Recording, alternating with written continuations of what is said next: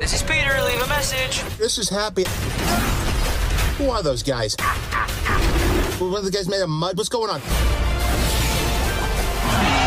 Was that a dinosaur?